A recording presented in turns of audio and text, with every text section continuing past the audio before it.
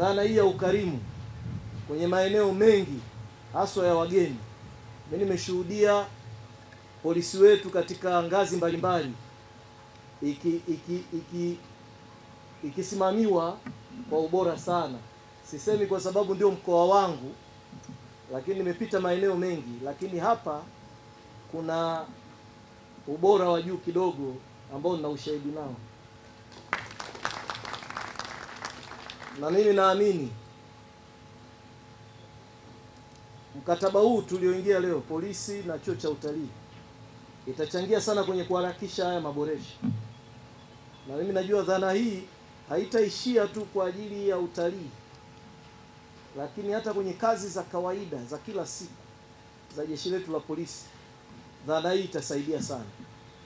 Na itaendana na maboresho na dhana ile ya maboresho kwenye jeshi letu la polisi, ambayo tayari tunashuhudia mambo makubwa yakifanyika kati ya maendeleo na ulinzi na usalama. Siku zote naona kama ni kuku na yai, kwamba ukikikosa kimoja kimoja hakina muujiza wa kupata maendeleo. Ukimkosa kuku huna yai, ukikosa yai huna kuku. Kwa hiyo ninachokiona hapa ni ukamilishaji wa dhana hii. Na katika namna zozote zile za strategia za maendeleo na ulinzi na usalama, ukikosa kimoja huna kingine. Na kwa leo jeshi la polisi limekuwa mfano wa wazi, na hata wenzetu walioendelea, utaona dhana za ulinzi na usalama ziko kwenye kila sekta,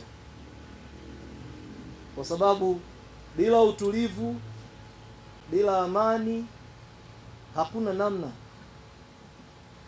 kuna chochote, mchakato wote wa maendeleo utafanikiwa. Kwa hiyo Mheshimiwa IGP, nikupongeze sana kwa polisi kuwa mfano, kwa sababu sasa itatuondoa kwenye ile picha ya kijamii ya kudhani kwamba ulinzi na usalama ni, ni swala ambalo limeji, limejitenga. Hapana, leo hii ni ushuhuda kwamba ulinzi na usalama ni dhana ambayo inahitajika kwenye kila eneo, na wakati huu ambako Mheshimiwa Rais Dr. Samia Suluhu Hassan anasisitiza kuifungua nchi, kuvutia uwekezaji. Jeshi la Polisi Tanzania hatuko nyuma kuhakikisha malengo mazuri ya serikali yanatimia, kwani sisi ni miongoni mwa wadau muhimu wa utalii hapa nchini na pia ni taasisi yenye jukumu kubwa la kulinda usalama wa raia na mali zao ikiwemo usalama wa watalii wote wanaotembelea vivutio vya nchi yetu. Kutokana na umuhimu huo ambao ni mkubwa sana, sisi kama taasisi tuliona ni vema kushirikiana na wanataaluma wabobevu kwenye tasnia ya utalii ambao ni Chuo cha Taifa cha Utalii kwa kuwekeza kwenye maboresho ya mifumo ya mafunzo na utoaji huduma bora kwa askari wa jeshi la polisi nchini ambao kwa kiasi kikubwa wamekuwa ndio msaada wa kwanza kwa watalii na wageni wote wanaofika hapa nchini kwa ajili ya shughuli mbalimbali.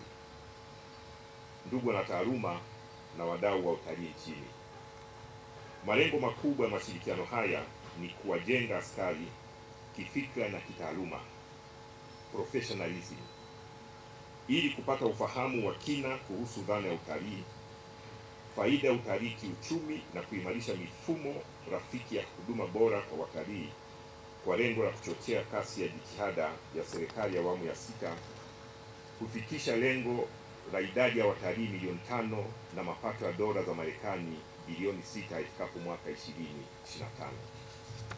Na hii inawezekana tu endapo nchi yetu itaendelea kuwa salama na yenye amani na pia jeshi la polisi kujenga uaminifu na kutoa huduma bora za kiusalama pindi watalii wanapohitaji msaada wa karibu na wa haraka. Chuo cha Taifa cha Utalii kinalenga kushirikiana na Jeshi la Polisi Tanzania katika maeneo mbalimbali ya utoaji mafunzo kwa maafisa wa Jeshi la Polisi wenye lengo la kujenga uelewa mpana wa masuala ya utalii ili kutoa huduma rafiki kwa watalii nchini kwetu. Na nitumie nafasi hii kumshukuru sana IGP Wambura kwa kuonyesha utayari hata kabla ya kuanza mashirikiano haya, kabla ya kusign MOU tayari tumeshaalikwa kwenye chuo cha diplomasia cha mafunzo ya taaluma ya polisi kule Kurasini, Dar es Salaam, na tumeshatoa mafunzo ya utalii na ukarimu kwa maafisa wa polisi mia tisa. Tunakushukuru sana mheshimiwa. Sekta ya utalii imeendelea kuwa nguzo muhimu katika nchi yetu na kwa uchumi wa nchi yetu, na imeendelea kushika kasi baada ya kutangazwa kupitia filamu ya Tanzania The Royal Tour ambayo ilifanywa na mheshimiwa rais wetu mpendwa Dr. Samia Suluhu Hassan aliyekubali kuwa tour guide namba moja nchini kwa kutangaza vivutio tulivyo navyo. Hii ni hatua kubwa sana kwa maendeleo ya sekta yetu, lakini ameonyesha njia ni kwa namna gani anataka kuleta reforms kwenye sekta hii ya utalii na ukarimu.